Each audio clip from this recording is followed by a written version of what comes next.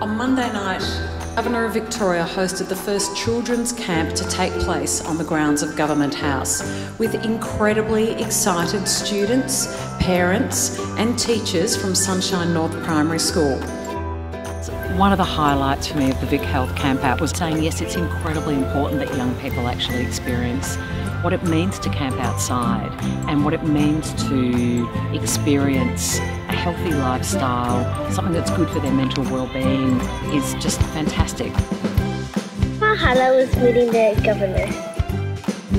Actually, dream come true because I never met, I would never met, I would meet the governor, and uh, it was very, it was very interesting to see how where she lives.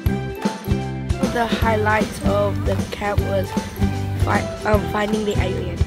My highlights were probably doing the mannequin challenge with the governor.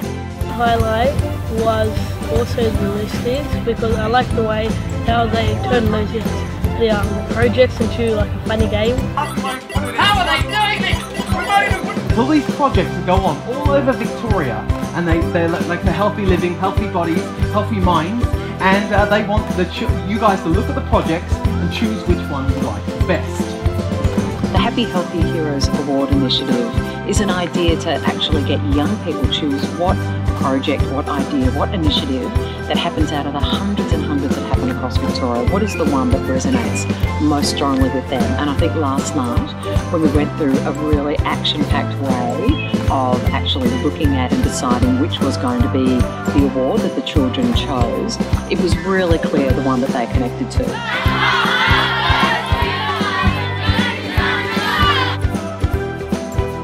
Big highlight has been the opportunity to collaborate with VicHealth's patron in chief, the Honourable Linda Dessau.